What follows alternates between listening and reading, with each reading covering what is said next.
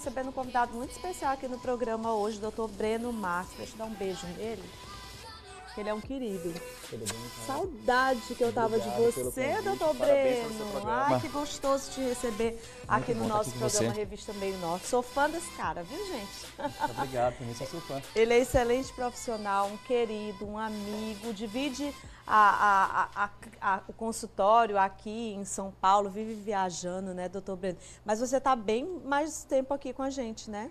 Na verdade, agora eu estou um pouco mais em São Paulo, que a gente abriu clínica lá esse Eu ano, vi né? que você abriu uma clínica Então, eu lá. 20 dias lá, 10 dias aqui e alguns dias em Balneário Camboriú. É, em Camboriú também, olha só.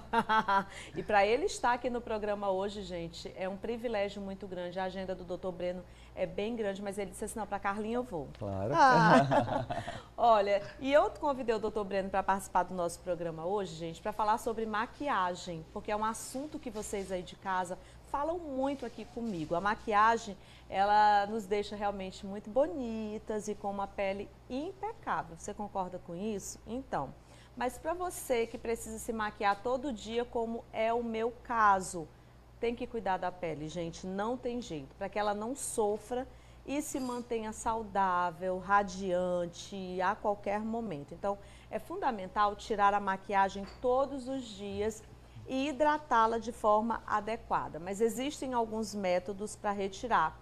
Um deles é o azeite de oliva, um demaquilante caseiro. Por isso, para saber se isso é verdade ou mito, a gente vai conversar agora com o doutor Breno, que é dermatologista. E aí, doutor, nós podemos ou não usar o azeite na pele?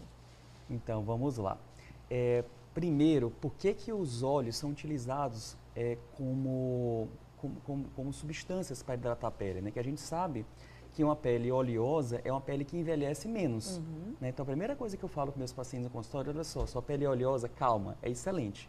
Você vai ter menos rugas, porque se uma pessoa tem uma pele seca, envelhece mais. Mas se a gente utilizar demais óleo, o que, que vai acontecer? A pele vai ficar com poros abertos, pode aparecer acne. Sim. Então fica aquela pele com aspecto, é, às vezes, de casca de laranja, Casca sabe? de Que- laranja, Que a gente é. fala, né? O azeite de oliva, ele pode ser utilizado, tá? Como demaquilante. Só que tem que ter cuidado. Se a pele for muito oleosa, não dá para utilizar. E se for utilizar, utilizar pequenas gotinhas. Uma gotinha, duas gotinhas, três gotinhas, tá?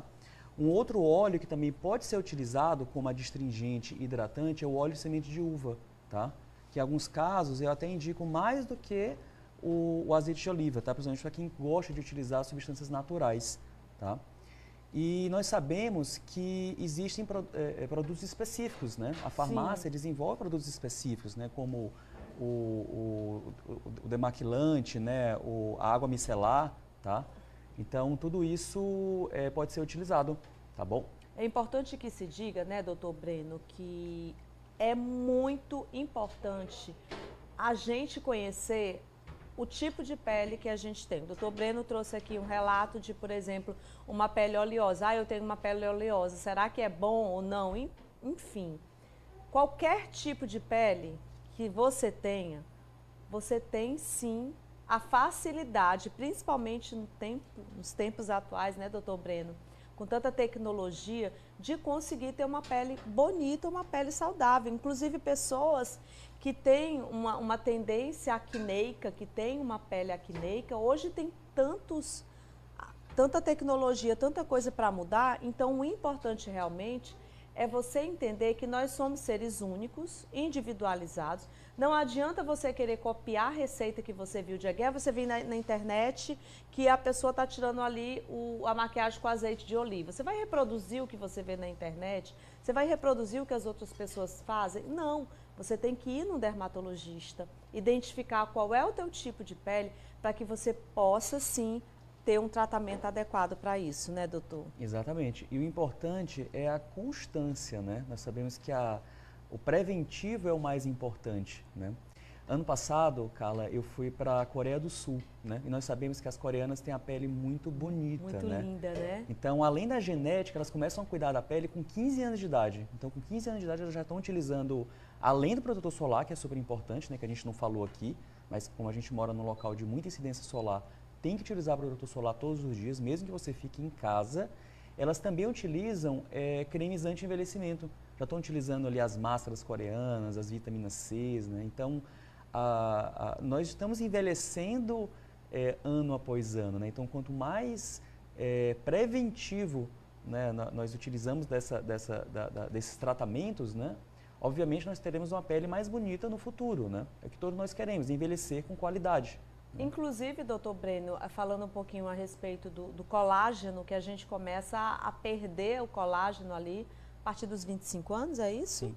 Então, a partir dos 25 anos, então já tem que realmente começar a pensar em uma pele que vai perder esse colágeno. Então, você está falando, por exemplo, que as coreanas começam a cuidar da pele com 15 anos. Então, se a gente começar a fazer isso o quanto antes, a gente vai envelhecer cada vez mais de forma saudável e com a pele bonita. É o que todo mundo quer, É né? o que todo mundo quer, né? né? A longevidade está aumentando, né? E a gente quer ter qualidade de vida quando a gente tiver nossos 60, 70, 80, 100 anos, 120 anos, já estão falando que já tem pessoas que já vão viver 120 anos entre a gente, né? Já pensou? Já pensou?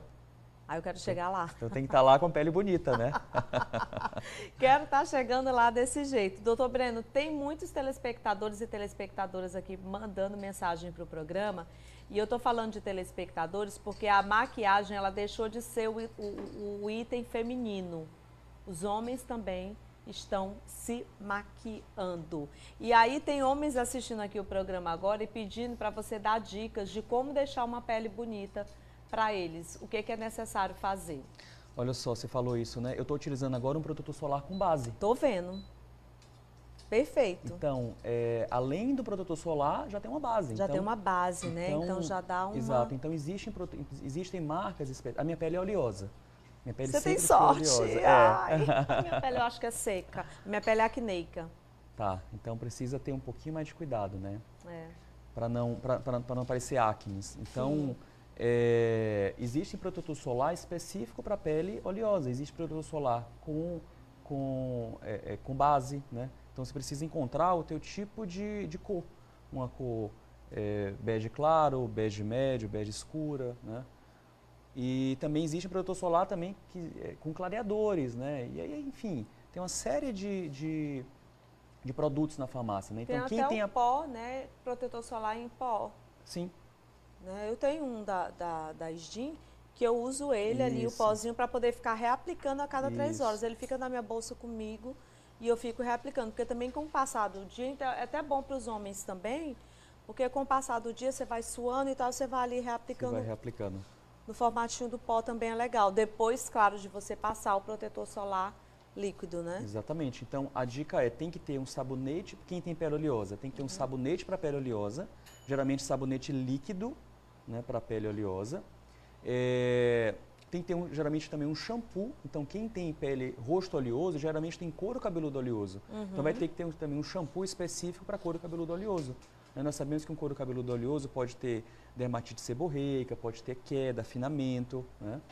E tem que ter ali o, o, digamos, o produto que ele vai utilizar para como anti-envelhecimento à noite e também durante o dia. Né? Então, durante o dia pode ser um protetor solar com base, à noite pode ser algum creme específico para a região dos olhos, dos olhos. Uma, vitamina C ou algum ácido né, para renovar a pele à noite. Tá? Por isso que é importante realmente você é, identificar, saber qual é o teu tipo de pele, para que o seu dermatologista ele possa indicar os produtos necessários para você.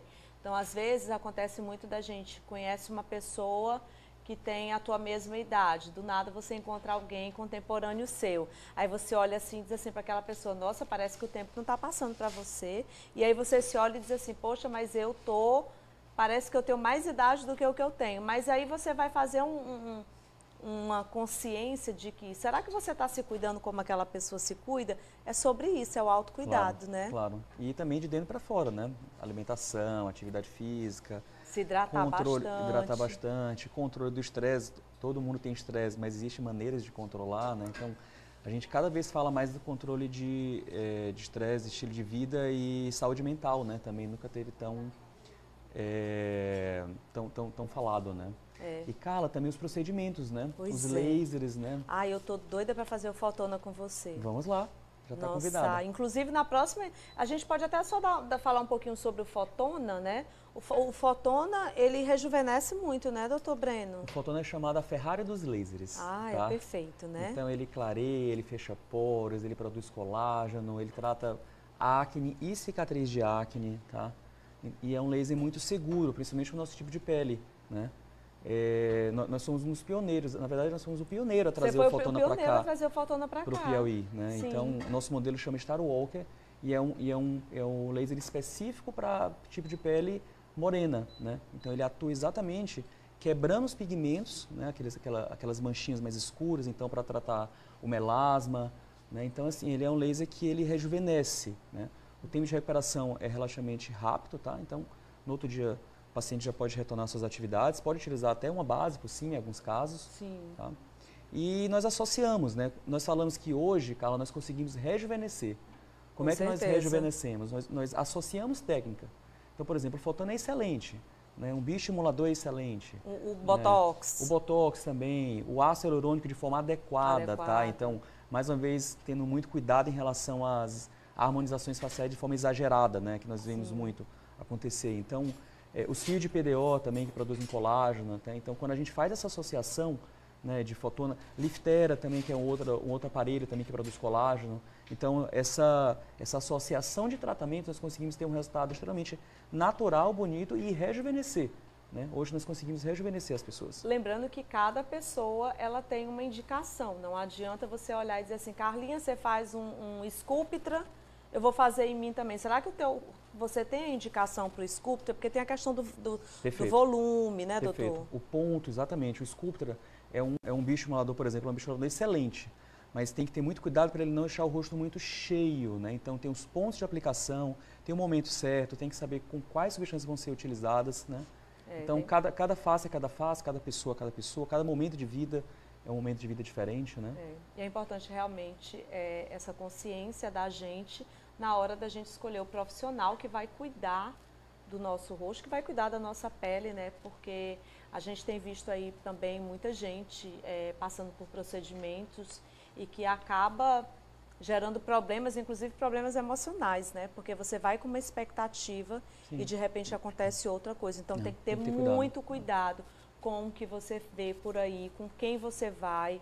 É importante você saber se aquele médico que você está indo, ele faz parte, por exemplo, da Sociedade Brasileira de Dermatologia. Você tem que fazer uma pesquisa muito grande, inclusive de, de, de procedimentos que ele faça. Eu fico muito feliz, doutor Breno, de saber que hoje em dia os conselhos de medicina estão, inclusive, é, deixando com que vocês profissionais possam mostrar o antes e o depois, porque antigamente existia uma barreira muito grande. Exato. Eu lembro que assim que eu comecei a apresentar o programa Canal Saúde, há 17 anos atrás, era uma confusão quando um médico ia no programa, falava de alguma coisa, então Isso o é conselho recente, via. né? É. Quando saía, na- eu tenho uma revista de saúde, saía um procedimento que era o antes e depois, era uma confusão danada para vocês médicos. E que bom que isso está mudando, porque com o advento da, da internet, da tecnologia, as pessoas querem ver os resultados. E é Claro. importante resultados para que a gente possa realmente saber para quem a gente está entregando É, a exato. nossa vida, né? Não, não, não é uma promessa de De resultado. gente resultado, mas que é existe, uma constatação. Mas é uma constatação né, que para aquela pessoa funcionou e que a gente tem que, claro,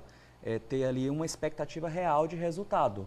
né? Então, é, a gente tem que ser muito, digamos, honesto e, e objetivo com, com o resultado de cada paciente. E acima de tudo a questão da ética que vocês, médicos, médicas que são profissionais, que estudaram uma vida inteira para fazer a sua especialidade dentro daquilo que vocês escolheram, a ética ela é super importante. Não é porque eu, Carla, vou chegar lá no consultório do Dr. Breno e vou dizer, olha, eu quero fazer fotona, eu quero fazer isso, eu quero fazer aquilo, eu quero aquilo. E ele vai dizer assim, não, Carla, vamos fazer tudo que você quer. Não, tem que fazer realmente o que é indicado.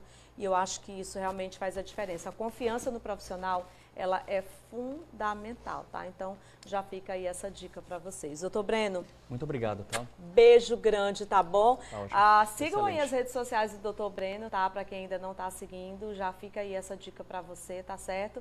A gente vai para um pequeno intervalo comercial. Inclusive, eu vou deixando uma dica super especial aí para você que está assistindo o nosso programa. Minha gente, eu já estou numa expectativa danada para esse show que vem com tudo. O Whindersson